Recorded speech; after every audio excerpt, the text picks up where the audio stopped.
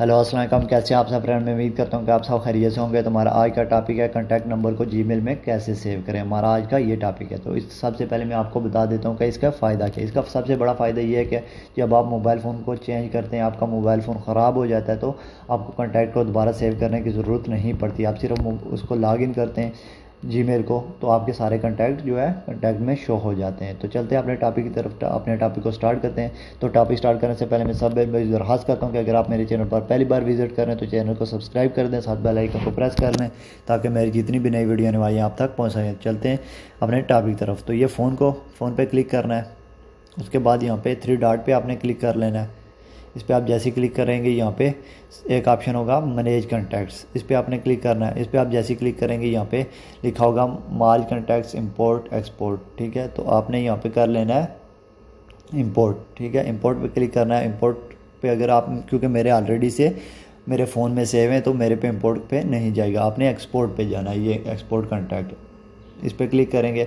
इस पर आप जैसे ही क्लिक करेंगे, यहाँ पे तीन ऑप्शन होंगे। ठीक है? Internal storage SIM one SIM two यहाँ से आपने जिस सिम, आपके जिस फ़ोन में सेव मतलब अगर सिम वन में है तो सिम वन पे जाना है, अगर सिम टू पे है, सेव है तो सिम टू पे चले जाना है, सिम अगर इंटरनल में जिस जगह आपके सेव है उस पर क्लिक करना है। मेरे अभी तो इंटरनल पे ही है, मैं इस पर क्लिक करके एक्सपोर्ट कर लेता हूँ, ठीक है? एक्सपोर्ट कर लेना है, आपने भी ऐसे कर लेना है। उसके बाद आपने ये करना है, दूसरा सेटिंग यहाँ पर जाना है जी मेल यहाँ पे ऑप्शन होगा जी मेल पर चले जाएँ इसके बाद।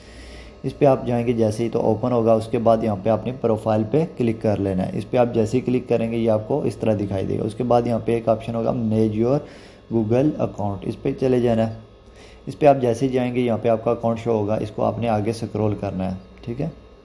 इस तरफ़ स्क्रोल करना है। तो यहाँ पे ऑप्शन आएगा पीपल एंड शेयरिंग इस पर आपने क्लिक कर लेना है। इस पर आप जैसे ही क्लिक करेंगे, ये देख सकते हैं, मेरे जो है कंटैक्ट जो है, इतने कंटैक्ट इस जगह सेव हैं।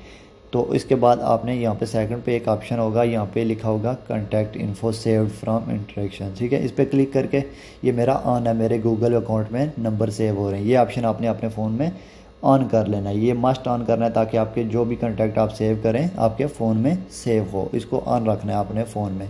उसके बाद ये देख सकते हैं, यहाँ पे मैं अगर यहाँ से एक्सपोर्ट करना चाहूँ, अपने फ़ोन में सेव करना चाहूँ, कुछ भी करना चाहूँ, सारे कंटैक्ट यहाँ से भी मैं कर सकता हूँ। तो इस तरह आपने ये ऑप्शन सारे ऑन कर लेने ये देख सकते हैं, अगर आप करना चाहते हैं, यहाँ से एक्सपोर्ट वगैरह कुछ भी तो कर सकते हैं, ठीक है? तो अदरवाइज़ ये ऑप्शन आपने मस्ट ऑन करना है, अगर आप अपने अकाउंट गूगल अकाउंट में जो है, पास कॉन्टैक्ट नंबर जो है सेव करना चाहते हैं। तो ये था हमारा आज का टॉपिक तो हर पे मैं सब बहन भाई दरखास्त करता हूँ कि अगर आपने मेरा चैनल अभी तक सब्सक्राइब नहीं किया तो सब्सक्राइब ज़रूर कर लें और बेल आइकन को प्रेस कर लें, ताकि मेरी जितनी भी नई वीडियो आने वाली आप तक पहुँच सकें। अल्लाह हाफिज़।